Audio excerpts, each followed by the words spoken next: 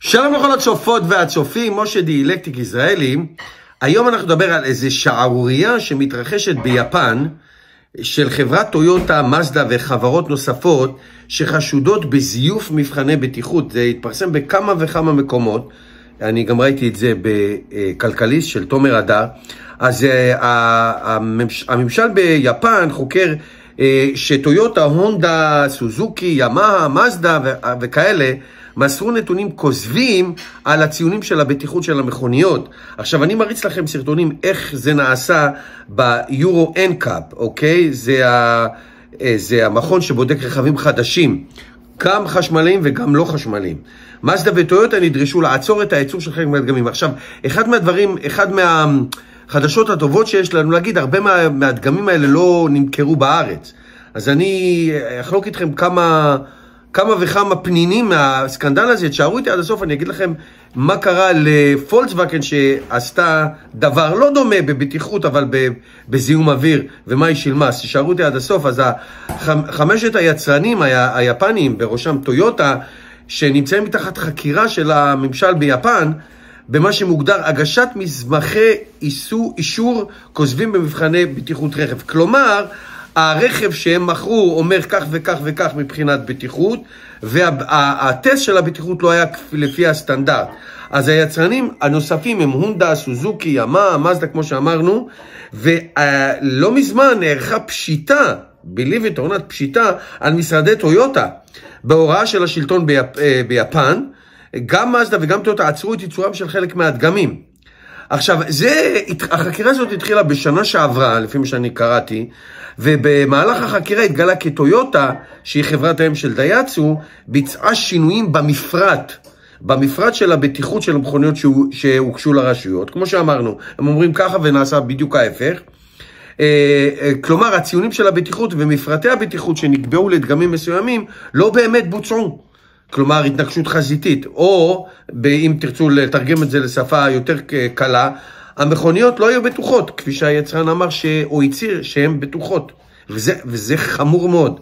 עכשיו, לפי מה שמתפרסם ביפן, החקירה מתרחבת אל מפרטי הבטיחות של היצרנים, שנחשדים בהגשת המסמך הכוזב הזה, שינוי של תוכנות מנוע, ביצוע בדיקות בתנאים לא הולמים, ושינוי של רכבים לפני הביצוע, לפני ביצוע מבחני הבטיחות, כלומר מה שנקרא ריג, באנגלית ריגינג, אוקיי?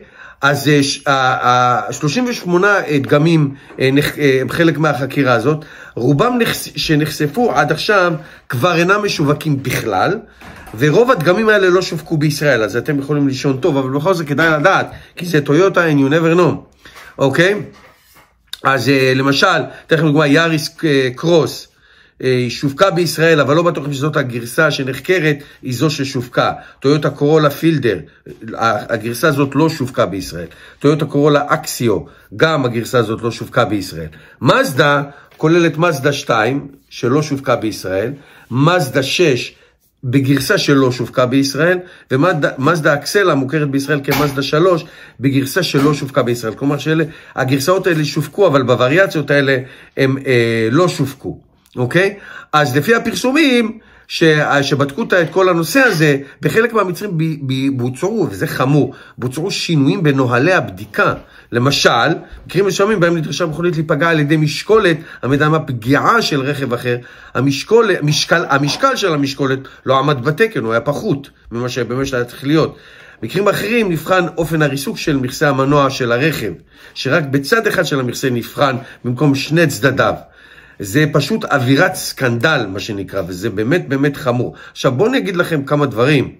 אה, זה דבר, הרמאות כזאת נעשתה גם עם פולקסווגן לפני כמה שנים, מה שנקרא Dieselgate, שכל רכבי, רכבי דיזל שלהם, אה, אה, הייתה תרמית שאתה לוקח את זה למכון הרישוי ומכניס את החיישן לתוך ה exhaust, אז הפליטת גזי החממה הם פחותים ממה שהם באמת.